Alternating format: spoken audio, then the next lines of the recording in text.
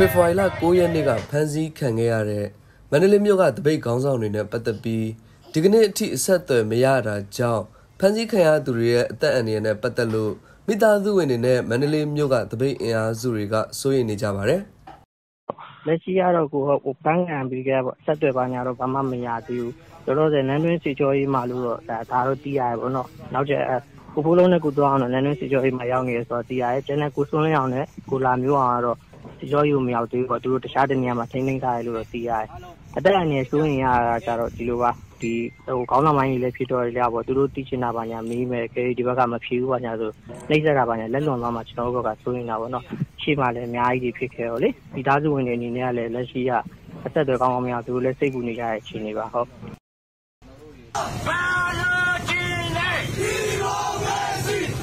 မန္တလေးမြို့ပေါ်မှာပျောက်ကြားဆန္ဒပြပွဲတွေကိုဥဆောင်ပြုလုပ်နေသူတွေဖြစ်ကြတဲ့ကိုတူရအောင်ကိုဖိုးလုံးခေါ်ကိုရဲစင်ထွန်းကိုစိုးလင်းအောင်နဲ့ကိုလမျိုးအောင်တို့၄ယောက်ကိုဖေဖော်ဝါရီလ9ရက်နေ့ညနေပိုင်းမှာသူတို့ပုံခုနေထိုင်တဲ့အိမ်မှာစစ်ကောင်စီတပ်ဖွဲ့ဝင်တွေကအရက်ဝက်နဲ့ဝင်ရောက်ရှာဖွေဖမ်းဆီးခဲ့တာပါ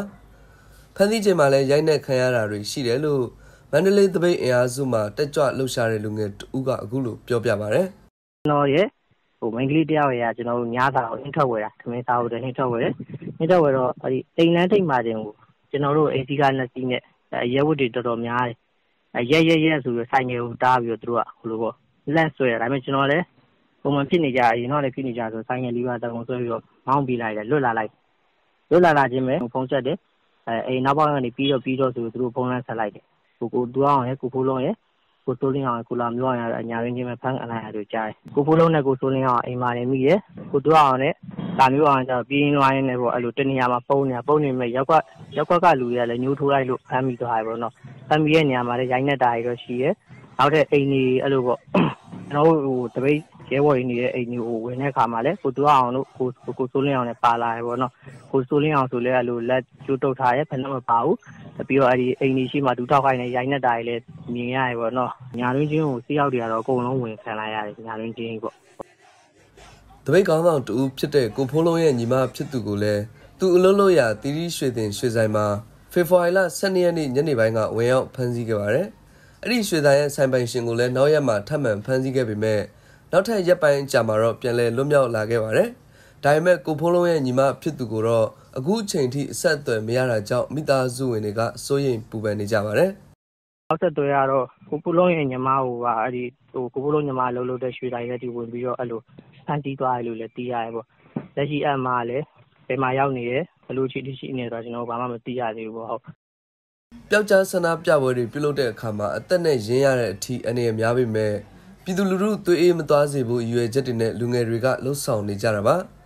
မန္တလေးတပိတ်ရဲ့အဓိကခေါင်းဆောင်တွေဖမ်းဆီးခံခဲ့ရပေမဲ့မန္တလေးမြို့မှာဆက်အာဏာရှင်ဆန့်ကျင်ဆန္ဒပြပွဲတွေကိုတော့ပုံစံမျိုးစုံနဲ့ဆက်လက်လှုပ်ဆောင်သွားမယ်လို့ပျောက်ကြားဆန္ဒပြပွဲတွေမှာပါဝင်လေးရှိတဲ့အမျိုးသမီးတက်ကြွလှုပ်ရှားသူတူကပြောပါတယ်ဟိုဒီလိုမျိုးခေါင်းဆောင်ပိုင်းတွေပါသွားလို့မန္တလေးကပြိုလဲသွားမယ်လို့အားလုံးကတွေးကောင်းတွေးကြလိမ့်မယ်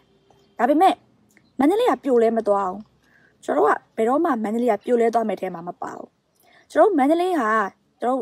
နိုင်ငံအရရှင်မယ်ဆိုရင်တောင်မှကျွန်တော်တို့ဟလာခုချိန်ထိလူတို့တပိတ်တွေကိုအဆက်မပြတ်လုံနိုင်နေရဲ့တိုင်းထဲမှာပါတယ်ဗျကျွန်တော်မန္တလေးမြို့ထဲမှာပါတယ်ကျွန်တော်မန္တလေးမြို့ကခုချိန်ထိကြောက်ကြားစနစ်နဲ့ရရဲ့ရရင်ရရဲ့နေရာကနေပြီးတော့လှုပ်ရှားနေစေပင်မန္တလေးကဘယ်တော့မှပြိုလဲမသွားဘူးမန္တလေးကခဏရက်ချင်ရက်တန်သွားမယ်ဒါပေမဲ့တပိုကြရင်တပိုတက်လာလိမ့်မယ်လူတို့ခေါင်းဆောင်တွေကိုဖမ်းဆီးသွားလိုက်ရုံနဲ့တော်လွန်ရေးဟာအချိန်ဟုန်ပြတ်မသွားဘူးနောက်ထပ်ခေါင်းဆောင်တွေအများကြီးရှိသေးတယ် ဖမ်းဆီးခံထားရတဲ့မန္တလေးတပိတ်ခေါင်းဆောင်တွေဟာလက်ရှိမှာတော့မန္တလေးနန်းတွင်စစ်ကြောရေးမှာရောက်ရှိနေတယ်လို့တပိတ်အင်အားစုတွေကယူဆကြပေမဲ့မြန်မာနိုင်ငံအနေနဲ့တော့တိကျအတိမပြုတ်နိုင်သေးပါဘူးအဲ့ဒီလိုဖမ်းဆီးခံရတဲ့သူတွေကိုစစ်ကောင်စီတပ်ဖွဲ့ဝင်တွေကစစ်ကြောရေးမှာညှဉ်းပန်းနှိပ်စက်မှုတွေပြုလုပ်ပြီးတချို့ဆိုရင်အသက်သေဆုံးတဲ့အထိရှိတာကြောင့်ပြည်သူတွေအနေနဲ့တက်နိုင်တဲ့ဘက်ကနေအကူအညီပေးကြဖို့လဲတပိတ်အင်အားစုတွေကတောင်းဆိုထားကြပါတယ်ခင်ဗျာ